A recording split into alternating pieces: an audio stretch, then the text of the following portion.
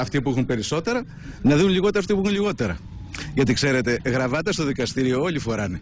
Και το μπλοκάκι που βγάζει 800-1000 ευρώ τον ε, μήνα και την γραβάτα, την Αρμάνι και την Τιόρ που τη φοράνε οι δικηγόροι που βγάζουν 60, 80, 100 χιλιάρικα ε, το χρόνο. Και επομένως, εμείς είπαμε από την αρχή ότι θέλουμε ένα σύστημα ασφαλιστικό που δεν θα έχουν τα συνήθη η υγεία, οι μισθωτοί, το βάρος να επιδοτούν τις συντάξεις άλλων.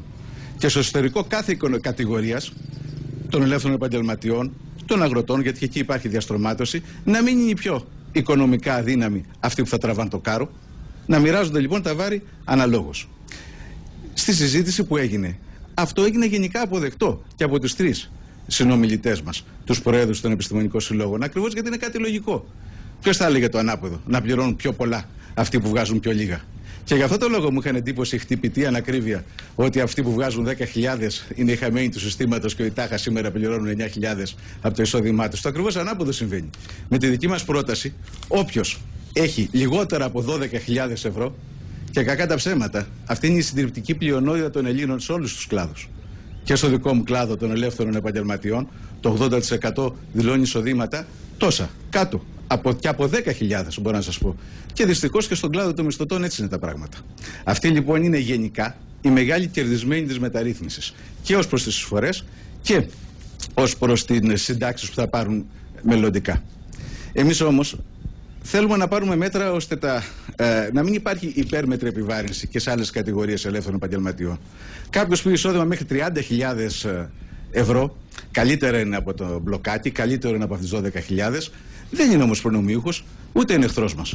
Αυτό που συζητήθηκε λοιπόν είναι πρώτον να υπάρξει, να υπάρχουν μέτρα για αυτούς που είναι πιο αδύναμοι. Ποιοι είναι πιο αδύναμοι, οι νέοι επιστήμονες. Αυτοί που φεύγουν μαζικά στο εξωτερικό.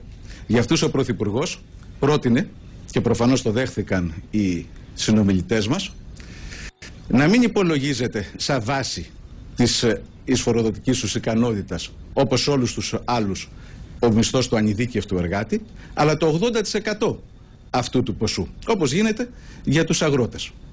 Και ακόμα περισσότερο, για να έχουμε μια βοήθεια αυτή και να είναι πολύ λιγότερα τα χρήματα που θα πληρώσουν σε σχέση με αυτά που πληρώνουν σήμερα. Τα δύο πρώτα χρόνια της πενταετίας, της πενταετίας από την έναρξη του επαγγέλματος, να πληρώνουν εισφορές στο 14% και τα τρία τελευταία στο 17%. Επίσης, τους πρότεινε και συμφώνησαν. Γι' αυτό μου έκανε εντύπωση, ξαναλέω, η διαφορά ύφους στις δηλώσεις της εξόδου. Ότι θα κάτσουμε κάτω από ένα τρα... γύρω από ένα τραπέζι, οι εμπειρογνώμονες, όχι εμείς, γιατί αυτό είναι θέμα αριθμητικής άσκησης, για να δούμε πώς θα υπάρξει μια προοδευτικότητα στην επιβάρυνση αυτοί που είναι κάτω από 30.000 ευρώ εισόδημα να μην επιβαρυνθούν τόσο ίσως όσο θα φτάνε σε μια περίοδο μεταβατική τριών χρόνων. Τριών χρόνων Ο κύριος Κατρούγκαλος αναλύει κυρίε και κύριοι τώρα στους δημοσιογράφους ποια είναι τα μέτρα τα οποία ε, προχωράει η κυβέρνηση ως προς το ασφαλιστικό γιατί